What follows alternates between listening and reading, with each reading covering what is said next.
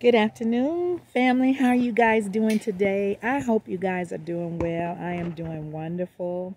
I am out in nature, taking a moment, pulling away from some household chores that I was engaging a little earlier.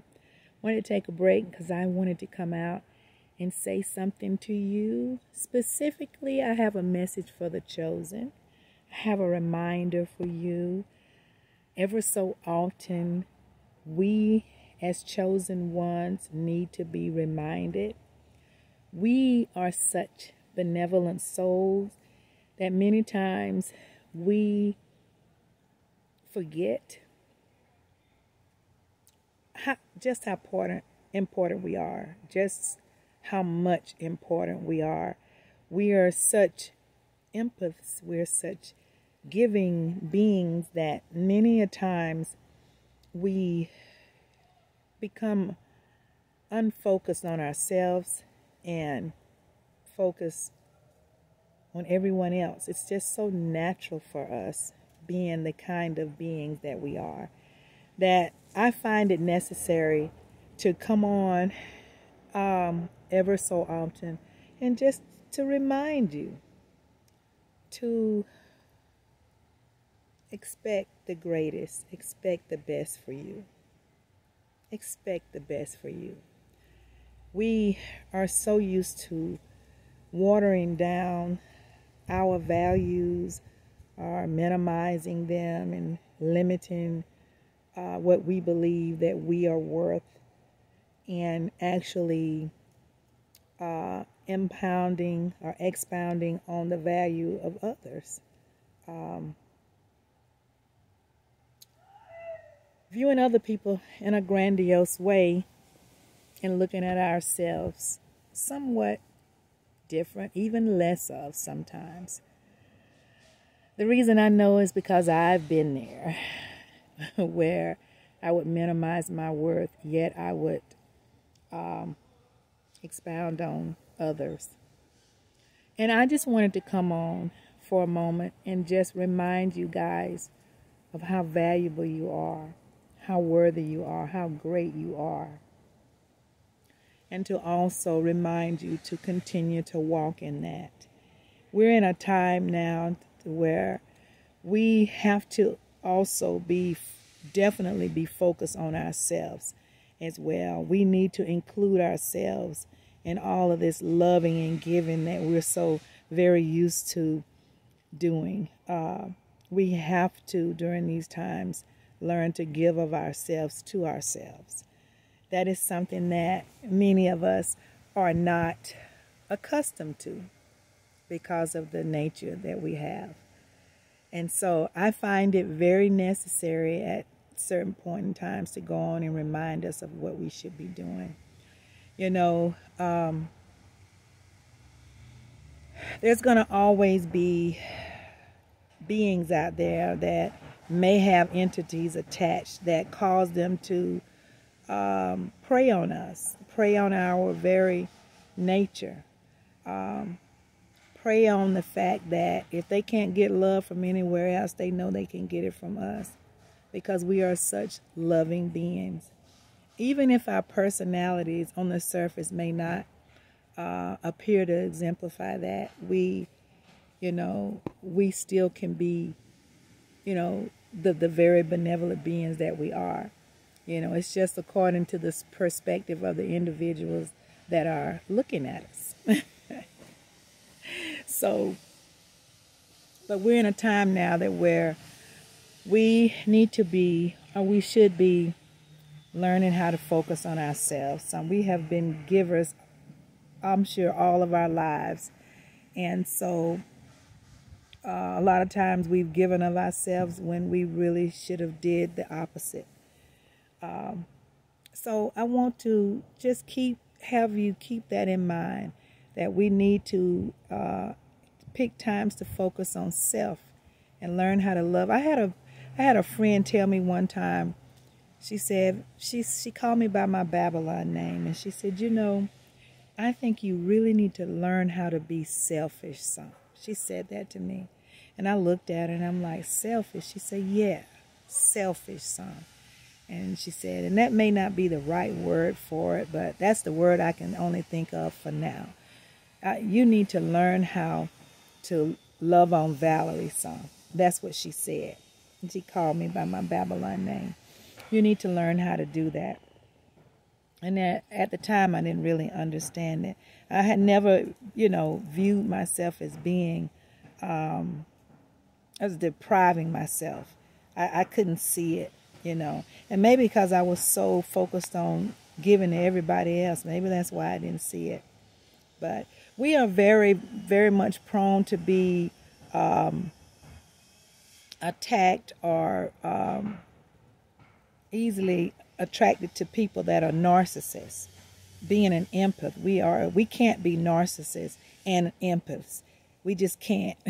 but we are uh, many times because of our nature, narcissists are also attracted to us because they seek out people like us, and and they tend to hone in on us, and uh, with always with a motive, and mostly to destroy what they know we have. So also, I want to remind you to be careful with other people. Be careful um, when you're engaging, and narcissists can come. It can be family, it can be friends, it can be colleagues, co-workers, comrades. It, you know, we're. It's very common that people like us are. Um, many narcissists seek us out. It's very, very, very normal. And so we have to be very careful to keep ourselves um, balanced and focused and intuitive as to who's around us and what's happening in our in our midst. Because narcissists can be very very very destructive and and ciphering our energy and and ciphering our peace. And so uh, we need to definitely pay attention to who we allow in our space and um, and protect ourselves. And that's not something that many of us are accustomed to doing, but we must learn how to do it, especially during these times. These times are offering us um, a climate of where we um, can get the help to help us to pay attention more.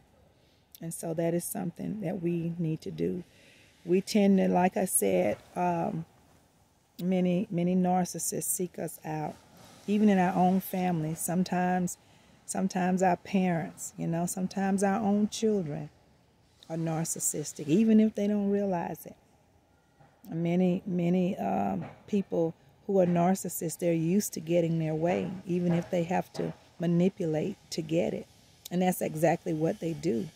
Uh, that's what they, you know, turn into um, when they become narcissistic. And so don't let anyone uh, manipulate you into believing that you're nothing other than who you really are and what you really are. And that's the empathetic being that you are. Narcissists can come in and, and play on your mind if you allow them and have you thinking a whole different thought when in reality um, it's what it is and you know who you are and always be reminded of who you really are. So I wanted to just come on and talk about that a little bit, guys, and and um, have you to continue to value yourselves. You know, like I said, we're so easily distracted from ourselves because we're always so honed on everybody else and what we can do for others. You know, what we can give and how we can help, just, you know, all of that. And you know, I'm, I'm going to tell you something. I think about it sometimes. It's funny how it's amazing, actually, how I ended up marrying an empath. Uh, this time I was just blessed beyond measure.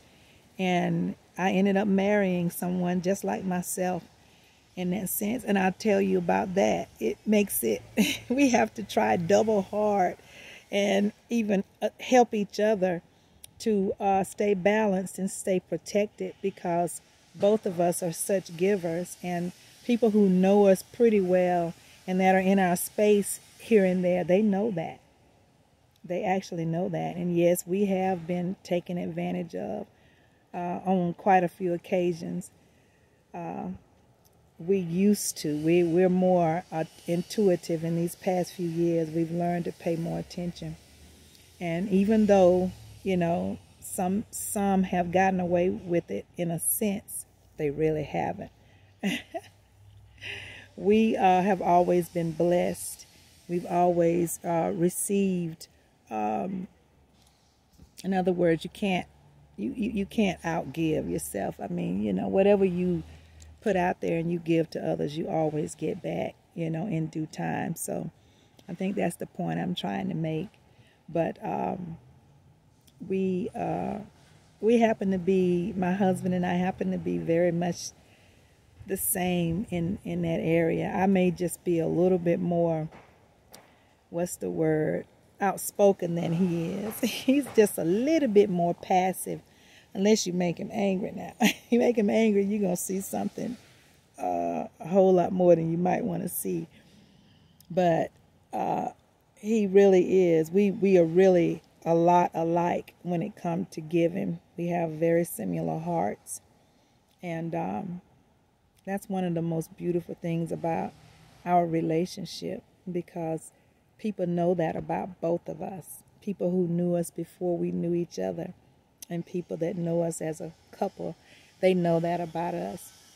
So I thought, just thought it was kind of funny the fact that you know we end up um, as soulmates and um, um, maybe even twin flames. We end up being a lot alike uh, when um, when it you know when it comes to uh, how we are in our nature of giving.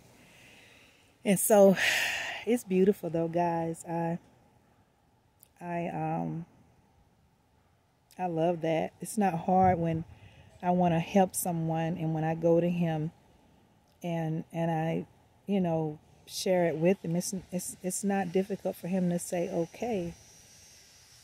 It's okay, you know, and especially if you want to help in a in a large way, in a big way. And vice versa. He can come to me and it's not so hard for me to say okay because we're so much alike in that area. We're opposites in a sense, but when it comes to that, we are very much, very much identical.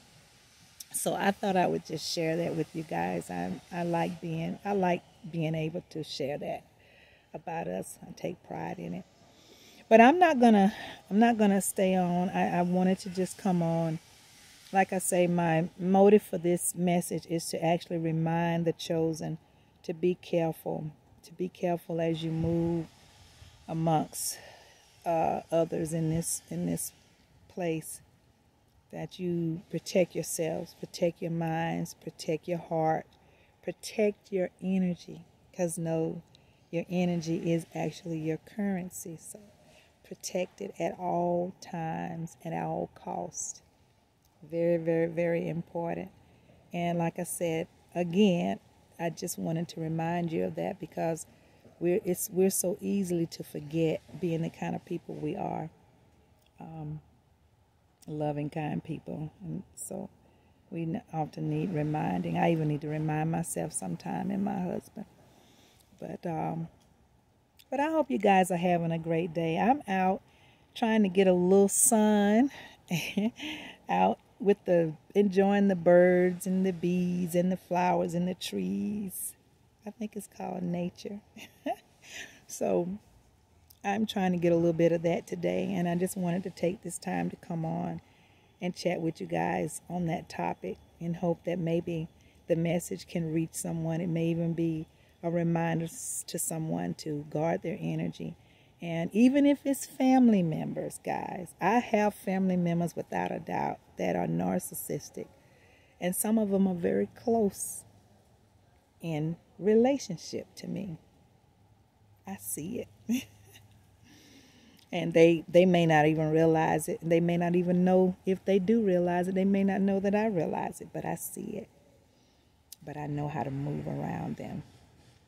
And so be careful, guys, because they're out here. So I wanted to also tell you to make sure that you get yourself some sun today. Get some sun. Get some me time if you need to. Hug somebody. there's always somebody out there that needs a hug, guys. Seek them out and give them a hug. It only takes a moment. And stay in peace. Open your heart chakra and let love be at the core. It's so important, guys. Love is what's going to free us in this system. it's going to take love. So make sure that you're doing what you need to do to stay healthy mentally and physically and uh, grounding yourselves and staying balanced using the the uh, the Ma'at um, effect. Stay balanced, guys. It's so important. I'm going to ask you to like the video if you haven't already because when you like the video, others can see it. Share, share, share. Because when you share the video, more people can see it. And please hit the notification bell so that you can continue to get the content if there is anything that I say that ever resonates with you. And I would appreciate that so much. I would appreciate it a whole lot. And I thank you for that. I'm going to say, signing out, Assalamu alaikum to you. Namaste. Ashe. Ashe. And Ashe. Stay in peace, beautiful souls. Give you the peace sign, peace unto you. I love you very much. And until next time, I'm going to say bye bye.